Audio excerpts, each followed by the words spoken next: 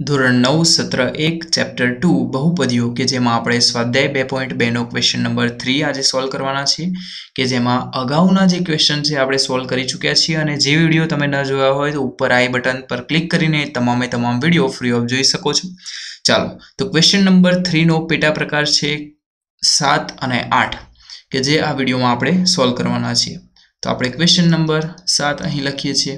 કે જે બહુપદી આપણને આપેલી છે પી ઓફ એક્સ બરાબર થ્રી એક્સનો સ્ક્વેર માઇનસ વન અને જ્યાં આપણને એક્સની કિંમતો આપેલી છે minus one by root three અને ટુ બાય રૂટ થ્રી એટલે કે એક્સની બે કિંમતો છે કે જે તેના શૂન્યો છે કે નહીં એ આપણે ચકાસવાના છે. તો સૌ પ્રથમ આપણે એક્સની જગ્યાએ minus one by root three મૂકીશું. તો અહીં પી ઓફ અહીં તમે એવું લખી શકો છો.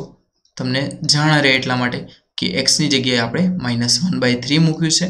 ચાલો, તો એક્સ બરાબર શું પી ઓફ એક્સ બરાબર થ્રી એક્સનો સ્ક્વેર માઇનસ વન એટલે કે થ્રી એક્સનો સ્ક્વેર એટલે કે માઇનસ વનનો અને અપોન રૂટ થ્રીનો સ્ક્વેર કેમ કે આખા એક્સનો સ્ક્વેર છે, તો અહીં આપણે એક્સનો સ્ક્વેર કરવો પડશે અને માઇનસ વન તો અહીં આપણે શું લખી શકીએ છીએ? થ્રી અને કૌંસમાં માઇનસ વનનો વર્ગ તો માઇનસ વનનો કેટલો વર્ગ થાય? તો પ્લસ વન જ થશે. તો અહીં વન લખીએ, કેમ કે માઇનસ કોઈ પણ માઇનસ ઘાત હોય તો એનો સ્ક્વેર કેટલો થાય? પ્લસ વન જ થાય. અપોન રૂટ થ્રીનો વર્ગ. તો દોસ્તો, અહીં તમને એ ખ્યાલ હોવો જોઈએ, અહીં હું રફમાં કરાવું છું કે ત્રણને આપણે રૂટ થ્રી ગુણ્યા રૂટ થ્રી એવું લખી શકીએ છીએ. બરાબર? તો અહીં રૂટ થ્રીનો સ્ક્વેર એટલે કે રૂટ થ્રી ગુણ્યા રૂટ થ્રી તો કેટલો આન્સર મળે? થ્રી જ મળે. તો અહીં આપણે ત્રણ લખીશું. અને માઇનસ વન. હવે દોસ્તો, ત્રણ અને ત્રણ ભાગાકાર અને ગુણાકારમાં છે તો ઉડી જશે અને અહીં વધ્યો એક અને માઇનસ એક. તો એક માઇનસ એક એટલે કે ઝીરો. તો અહીં આપણને પી ઓફ એક્સ મળ્યો છે ઝીરો. તો અહીં એવું કહી શકાય કે એક્સ બરાબર minus one by root three એ આપેલી બહુપદીનું શૂન્ય છે. હજુ આપણો ક્વેશ્ચન અહીં પૂરો થયો નથી.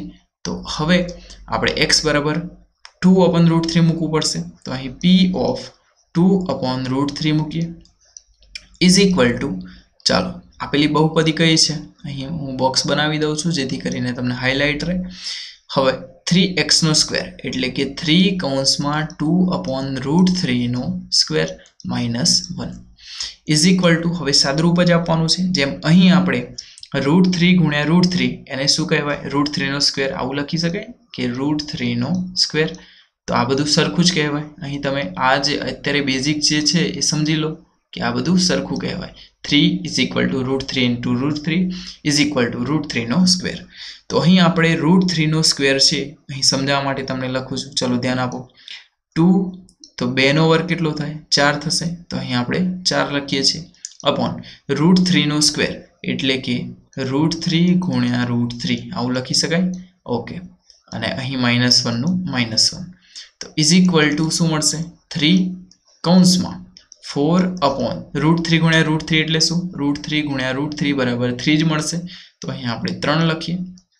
માઇનસ વનનું માઇનસ વન હવે થ્રી અને થ્રી ઉડી જશે. તો four minus one is equal to three તો પી ઓફ એક્સ અહીં મળે છે થ્રી જેથી આપણે અહીં ઝીરો આન્સર ન મળવા નોટ ઇક્વલ ટુ ઝીરો બરાબર? તો અહીં ઝીરો આન્સર ન મળવાના કારણે એક્સ બરાબર ટુ અપોન રૂટ થ્રી એ આપેલી બહુપદીનું શૂન્ય બનશે નહીં. તો આ પ્રમાણે આપણે ક્વેશ્ચન નંબર સાતને સોલ્વ કરી શકીએ છીએ.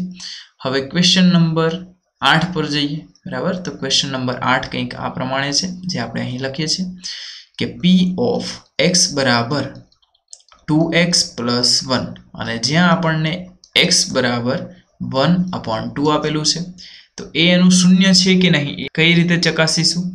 કે અહીં એક્સ બરાબર આપેલી બહુપદીમાં વન અપોન ટુ મૂકીશું અને જો આન્સર ઝીરો મળે છે, તો એક્સ બરાબર વન અપોન ટુ એ આપેલી બહુપદીનું શૂન્ય બનશે. તો અહીં પી ઓફ તમને યાદ રહે એટલા માટે કે એક્સ બરાબર આપણે વન બાય ટુ લખ્યું છે. પી ઓફ એક્સ તો એક્સની જગ્યાએ આપણે વન બાય ટુ લખ્યું છે. ટુ અને કૌંસમાં એક્સ એક્સ એટલે વન બાય ટુ તો અહીં આપણે વન બાય ટુ લખીએ અને plus one is equal to two અને બે અહીં ઉડી જશે. તો અહીં એક વત્તા એક ઇઝ ઇક્વલ ટુ અહીં મળશે ટુ તો પી ઓફ એક્સની વેલ્યુ તમને અહીં મળી છે ટુ બરાબર? જે શૂન્ય નથી. Is equal not equal to zero આવું આપણે લખી શકીએ છીએ. તો આના પરથી આપણે એવું કહી શકીએ કે એક્સ બરાબર માઇનસ વન અપોન ટુ જે આપેલી બહુપદીમાં આપણે મૂકીએ છીએ, તો એનું આન્સર ઝીરો ન મળવાના કારણે એક્સ બરાબર વન અપોન ટુ એ આપેલી બહુપદી એટલે કે p of x is equal to two x plus one કે જે એનું શૂન્ય નથી. બરાબર? એના માટે એક્સ બરાબર વન અપોન ટુ એ એનું શૂન્ય નથી. તો આ પ્રમાણે આપણે ક્વેશ્ચન નંબર થ્રીને સોલ્વ કરી શકીએ છીએ અને જો તમને વીડિયો ગમ્યો હોય તો જરૂરથી લાઇક કરી શકો છો. અને આમ જ મળતા રહીશું આવા એક જોરદાર વીડિયો સાથે. અસ્તુ, જય હિન્દ, જય ભારત.